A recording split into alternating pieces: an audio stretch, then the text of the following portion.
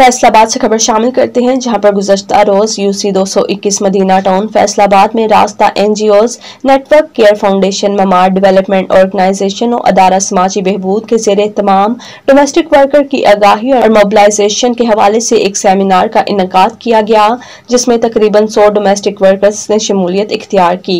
इस मौका पर अब्रार सोत्रा, सदर labour and Ittehad union, project coordinator P D F Numan Yunus, सदर care foundation Yusuf Adnan Khan chairman Memaar Farooq Ayub Shabana Razzaq pastor Irfan Zarina Arif Parvez Sadiq और दीगर ने खिताब किया। मुकर्रीन ने शुरा से खिताब करते हुए कहा कि डोमेस्टिक वर्कर्स एक पिसा हुआ तबका है जिनकी बहबूद के लिए पी डी एफ़ ने समाजी तंजीमों के साथ मिलकर काम करना शुरू किया है।